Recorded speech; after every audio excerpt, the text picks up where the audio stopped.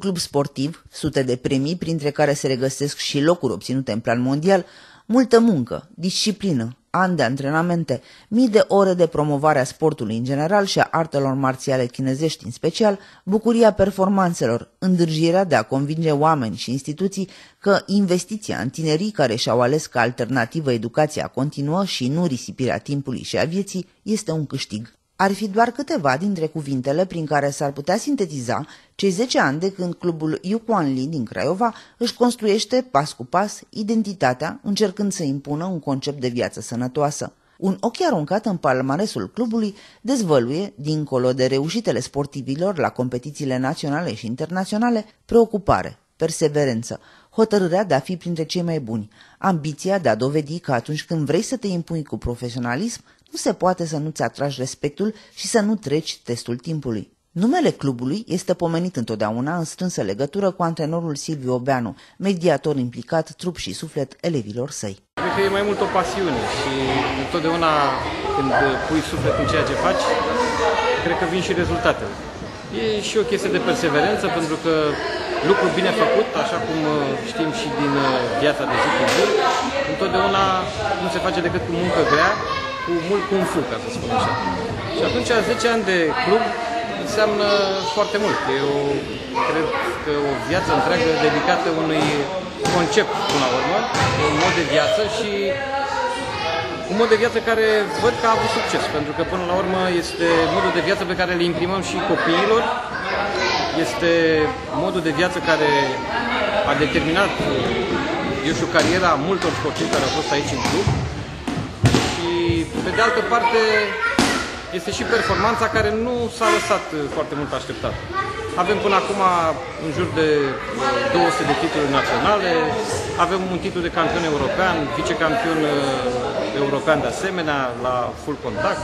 Nu este un moment zero în momentul în care am plecat cu formarea acestui club, pentru că mișcarea exista cu mult timp înainte de a constitui clubul legal.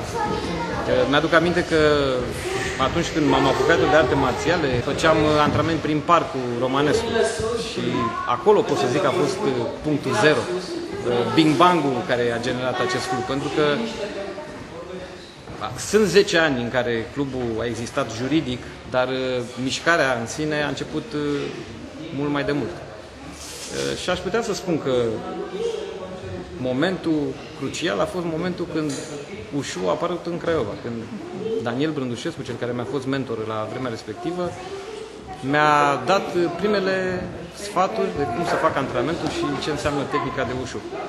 Și ce înseamnă tehnica de ușu? Uh, depinde. Pentru mulți înseamnă numai un sport, pentru că îl pot practica ca uh, o formă de, de luptă în competiții pentru alții înseamnă o dedicație pentru viață, pentru că v-am spus, devine un mod de viață, înseamnă, este o artă marțială și trebuie să ținem cont că o artă marțială față de un simplu sport, care poate să dureze atâta timp cât uh, ai posibilitatea fizică să faci sportul respectiv, uh, 5-10 ani pentru unii sportivi, uh, o artă marțială durează toată viața. Te molipsești de acest virus și devii dependent de el. Face parte din viața ta și îți marchează fiecare pas pe care îl faci în viață.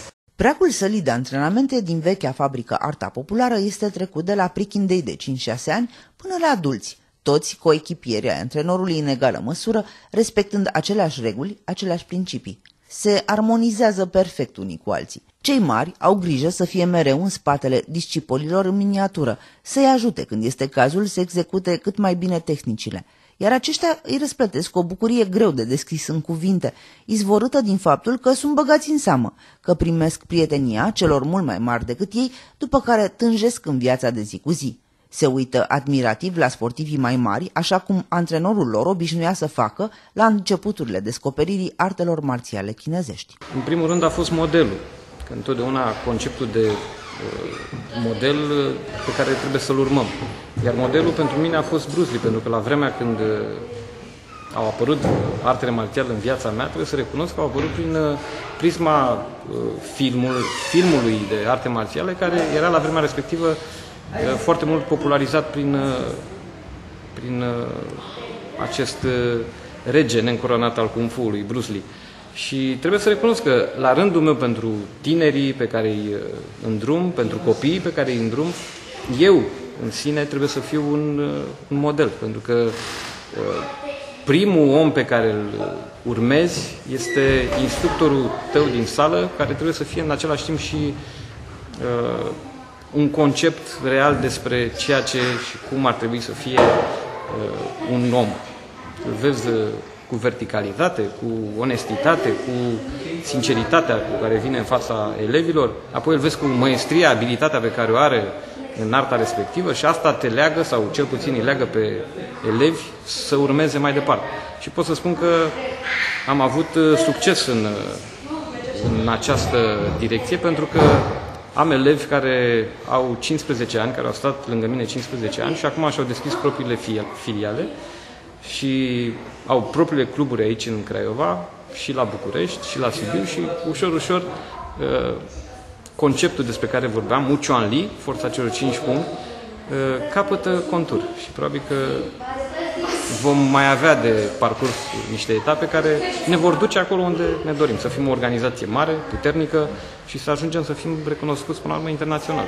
Clubul face parte dintr-o organizație uh, cum este Academia de Close Range Combat, care își are sediu în America și reprezintă pe fondatorul acestui sistem, pe Sifu Randy Williams, care este unul dintre primii 10 maestri de Kung Fu recunoscuți pe plan mondial dar uh, când vorbesc de recunoaștere, nu vorbesc numai de a face parte dintr-o organizație. Într-adevăr, suntem recunoscuți în interiorul sistemului pe care îl practicăm și la nivelul federației, pentru că federația la rândul este uh, recunoscută internațional și face parte dintr-o organizație mai mare, cum este Federația Internațională de Arte Marțiale, de chinezești, de Wushu, care la rândul ei face parte dintr-un comitet olimpic. Uh, problema de recunoaștere internațională este de a reuși să intrăm în sistemul competițional și să ajungem acolo unde am ajuns cu sportivi cum a fost uh, Ștefan Adriana, care are două locuri patru la campionatul mondial, un loc doi la campionatul european. Uh, dorința noastră este să ajungem și mai sus. Și în 2011 Alina Tabacu, o fostă sportivă a clubului, a reușit să obțină titlul de campion european la Cinta, la Lai Contact. A fost un prim pas uh, de a ne atinge puțin din, din ceea ce dorim noi să obținem, dar performanța pe care o dorim, performanța mare, urmează să vină. Dacă sunt să ne gândim că ușu în curând va deveni sport olimpic, atunci chiar avem un interes în plus ca sportivii care i-am format până acum să devină viitori instructori pentru generația următoare. Și atunci trebuie să investim foarte mult în generația de acum, în tinerii care sunt deja formați, cum este, de exemplu, Uh, Moraru Robert, care la 17 ani, aproape 17 ani, a obținut uh, eșarfă neagră. Este prima eșarfă neagră din cadrul federației la vârsta asta.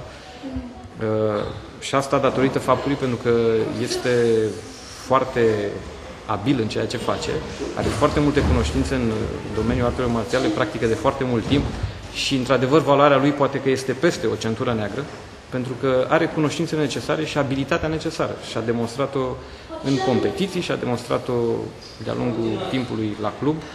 Și a demonstrat-o în întâlnire cu Sifu Randy Williams, unde de fiecare dată când a fost la întâlniri în Germania uh, a ieșit uh, în evidență ca fiind sportivul numărul unu la acelui stagiu.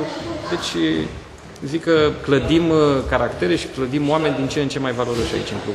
Clubul nu este doar vocea iușului și cumfului, ci a sportului în general, a beneficiilor pe care le au din plin toți cei care au înțeles că este minunat să facă mișcare, să-și găsească un mediu constructiv de dezvoltare personală, să se îmbogățească spiritual și să învețe să-și protejeze cu cap propria persoană.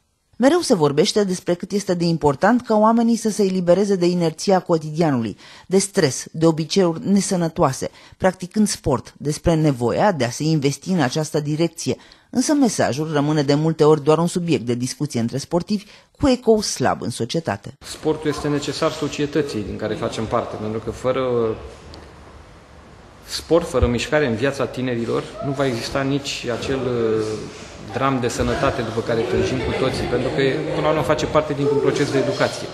Dacă nu ne învățăm tinerii de acum că mișcarea înseamnă sănătate, mai târziu când vor ajunge la vârsta când uh, vor fi preocupați de lucrurile să zicem, importante din viața lor, responsabilitățile care vin odată cu, cu creșterea în vârstă și cu întemeierea unei familii, vor neglija cu totul acest aspect. În uh, țările celelalte se fac uh, eforturi deosebite din partea guvernelor, din partea uh, oficialităților de a susține aceste activități. Pentru că o activitate cum este activitatea clubului nostru, unde avem grupe de copii, juniori, tineri, seniori și așa mai departe, uh, este implicat inclusiv actul educațional asupra lor, asupra deciziilor lor viitoare, asupra disciplinei lor, asupra uh, componenței lor și desăvârșirii lor ca om care poate să ajute societatea mai departe. Pentru că, până la urmă, în asta investim. Dacă nu avem o pepinieră în care să ducem, să aducem cele mai bune uh, lucruri tinerilor, ca ei să le învețe și să le ducă mai departe, atunci nici nu o să avem valori. Dovada este că în ultimul timp uh, sportul a fost lăsat deoparte și asta a dus uh, foarte multe prejudicii atât, eu știu, sistemului în sine, României în primul rând, dar pe de altă parte a dus foarte mari prejudicii populației, pentru că dacă sunt să ne gândim și analizăm statisticile din ziua de azi, 80% dintre români sunt bolnavi. De ce? Toată lumea se întreabă. Ăsta ar fi unul dintre factori. De exemplu, poporul chinez au numai 20% oameni care sunt uh, incluși într-un sistem sanitar și sunt evidențiați ca fiind bolnavi. Pentru că la ei, în concepția, în filozofia chinezească, sportul, mișcarea face parte din viața lor. Gândul de renunțare ați avut vreodată? Uh, nu, sincer nu. N-am avut niciodată. Familia a fost tot timpul alături de mine, soția face parte din uh, viața clubului, este președinta clubului și are un rol managerial uh, deosebit pentru că este persoana care se ocupă de relația cu uh, viitor sponsor, foști sponsor care pot să ne ajute. În primul rând asta este unul dintre lucruri importante pentru că atunci când ești antrenor al unui club și uh, ai o echipă pe care trebuie să o coordonezi, nu ai timp și de parte managerială. Noi încercăm să ne gospodărim uh, cu forțe proprii, cu toate că nimeni nu este retribuit în toată această uh, mișcare, totul este pe bază de voluntariat, încă n-am ajuns cu, uh, la nivelul de club în care să ne autofinanțăm și să ne autogestionăm uh, toate activitățile. Uh, și pe de altă parte să mai putem să și reușim să obținem venituri din lucrul ăsta. Încă suntem la nivelul în care încercăm să-i educăm pe cei din jurul nostru, să învețe cum să trăiască, ca la rândul lor să genereze eventual o mult mai mare mișcare pe care uh, un astfel de concept, cum este un club sportiv, să-l poată da pe viitor. Toate momentele dificile, obstacolele ce apar din considerente financiare în calea împlinirii dorințelor multor sportivi de a fi prezenți la competițiile importante sunt depășite de fiecare dată când rezultatele așează anual clubul în peisajul performanțelor de top. Bun s-a dovedit a fi până la acest moment și anul 2012. Până acum am fost la campionatul național de Cinta, avem uh, patru locuri întâi, destul de mulțumitor pentru că am fost cu 10 sportivi, Ceilalți s-au calificat pe locul 2, 3. Uh, din câte mi-aduc aminte, am avut un singur, uh, un singur sportiv care nu a urcat pe podium. Am fost la uh, o competiție la Strehaia, unde de asemenea s-au comportat foarte bine. Am fost pe alt sistem de luptă, pe Unifight, dar sportivii noștri trebuie să fie multilateral pregătiți. Am avut acolo și o accidentare gravă cu unul dintre sportivi, care sperăm să se recupereze și să revină la viața sportivă. Dar uh, urmează pe 2 septembrie campionatul național, care este cea mai importantă etapă a următoarei perioade, pentru că avem campionatul național de Tao și campionatul național de Santa în același moment, unde vor fi implicați în jur de 30 de sportivi de la clubul nostru. Reușitele clubului se cuantifică și în reușita unor foști elevi de a deveni la rândul lor antrenori, de a-și deschide propriile săli, sau în mândria celor de acum de a se fi modelat frumos și de a avea cu ce să lăuda. Acum am alături de mine pe uh, prietenul și elevul meu, cel mai vechi elev al meu, pe Nicu Cilipiu, care este și unul dintre membrii staffului tehnic și de asemenea am de cel mai tânăr membru al colegiului Centurionul Negre, cea mai tânără speranță a clubului, să zic așa, pe domnul fără ezitare, Robert le recomandă celor de vârsta lui să descopere frumusețea artelor marțiale chinezești, să afle pe pielea lor cât de mult bine le pot face, cum îi pot schimba, șlefui ca personalități, cât de bine se vor vedea puși în valoare. Să învețe să se tempereze și să-și lasă orgolile în spate, să facă un lucru benefic sănătății lor, în primul rând, după aia un lucru care te modifică, te întărește ca persoană de caracter și, în ultimul să facă sport. Era mai mic, înainte să vin la antrenament, era foarte rău, eram irascibil, mă luam la bătaie toată ziua.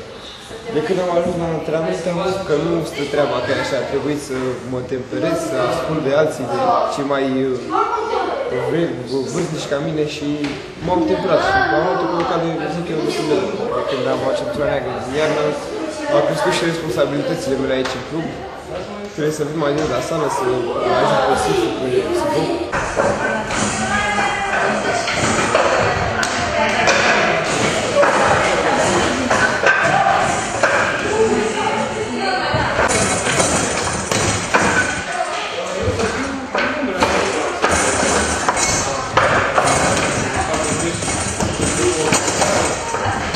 Este foarte bine să practici orice sport, noi recomandăm în special artele marțiale pentru că suntem practicați de arte marțiale, însă frumusețea artelor marțiale într-adevăr se descoperă în momentul când intri în sală, când uh, urmezi cursurile unei, unui club de arte marțiale.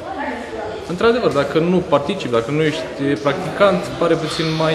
Uh, e ceva mai greu, pentru că necesită disciplină, în primul rând, simplu fapt că trebuie să vii la sală de câteva ori pe săptămână, Uh, să renunți la anumite plăceri, poate să ieși în oraș cu prietenul, cu prietenii, cu prietena. Uh, înseamnă puțină disciplină și atunci uh, pare mai greu la început, însă în momentul când intră în sală și fac cunoștință cu instructorii, cu ceilalți practicanți, descoperă și frumusețea marțiale și își dau seama că merită să vină. Deci fac noi prieteni, pentru ei contează foarte mult acest lucru îi și disciplinează și cred că în primul rând ajută pe părinți lucrul ăsta. Și majoritatea copiilor din ziua de astăzi au mari dificultăți în ceea ce privește mișcarea, nu se coordonează foarte greu, avem dificultăți cu ei când la sală cu majoritatea, pur și simplu se coordonează foarte greu, mișcările le prind destul de greu, dar după aceea, după o perioadă, se, se descurcă destul de bine. Cei mai mari Uh, sunt destul de greu de, de convins să vină la început pentru că au prejudecăți, au o anumită vârstă, zic ei, și n-ar mai fi pentru ei, pentru că au depășit acea vârstă de 17-18 ani când considerei că este momentul să înceapă. Însă nu-i târziu niciodată, poți să vii și la 30 de ani și la 35. Ideea este să ai ambiție, să-ți dorești să faci mișcare și te ajută din punct de vedere fizic te ajută să te descurci într-un eventual conflict pe stradă, deci sunt multe beneficii. Calități speciale trebuie să ai momentul când uh, practici uh, în sistem profesionist.